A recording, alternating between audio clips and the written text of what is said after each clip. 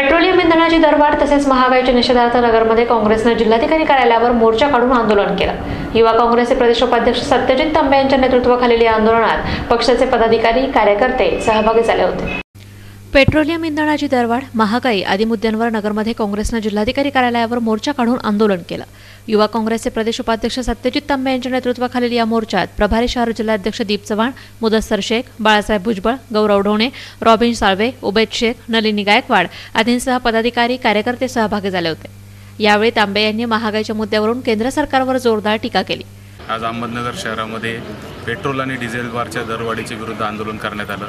ज्या पद्धतीने या देशातल्या मोदी सरकारने भारतीय जनता पार्टीच्या सरकारने भरमसाठ असं पेट्रोल आणि डिझेलची दरवाढ आणि एल पी जी गॅसची दरवाढ चालवलेली आहे ती खऱ्या अर्थाने फार मोठी अन्यायकारक दरवाढ आहे. कारण आंतरराष्ट्रीय बाजारपेठेमध्ये डॉलरचा भाव खाली पडत असताना प्रति बॅरलचा जो रेट आहे तो खाली पडत असताना पासष्ट डॉलर प्रति बॅरलचा जर इंधनाचा रेट आहे तर मग त्याचा बेनिफिट जो आहे त्याचा फायदा जो आहे तो सर्वसामान्य नागरिकाला मिळाला पाहिजे.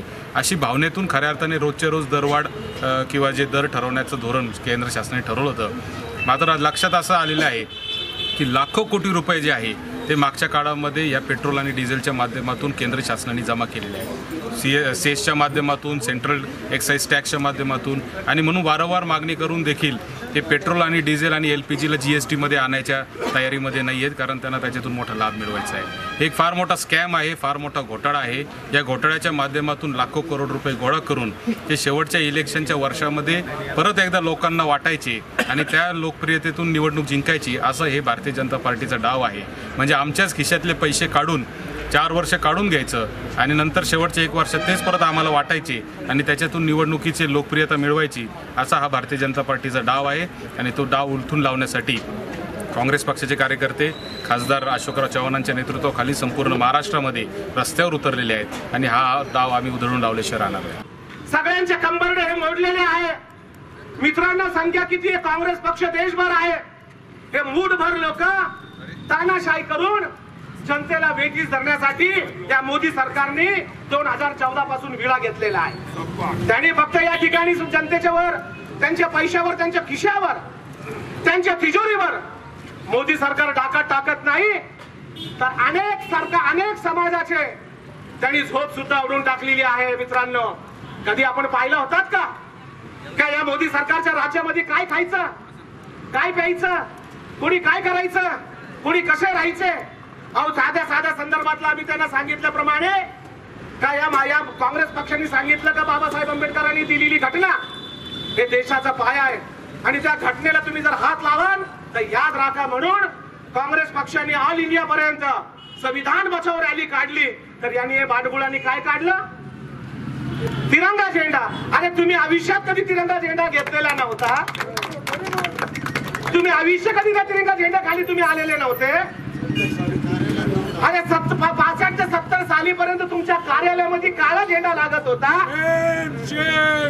आणि तुम्ही आज तिरंगे झेंडा संदर्भात तुम्ही स्वाभिमान दाखवतात आणि काय तर म्हणे कासनमध्ये तुम्ही दंगल घडवून आणतात आणि दाखवतात का आम्ही किती प्रेमी आहे देशप्रेमी आहे? काँग्रेस कार्यकर्त्यांनी जोरदार घोषणाबाजी करून महागाईसाठी केंद्र सरकारचा निषेध केला.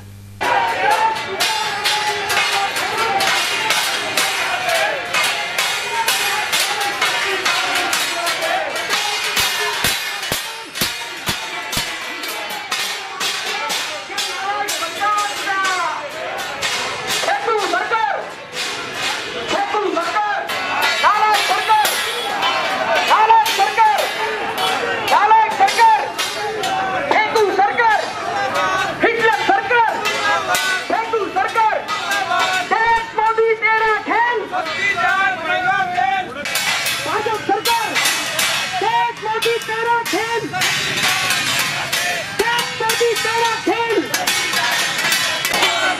या भाजप सरकारचे करायचे काय? राहुल गांधी आगे बढ़ो. राहुल गांधी आगे बढ़ो. सत्तेची दादा आगे बढ़ो. प्रतिनिधी यतीन कांबळे महानगर न्यूज ब्युरो अहमदनगर.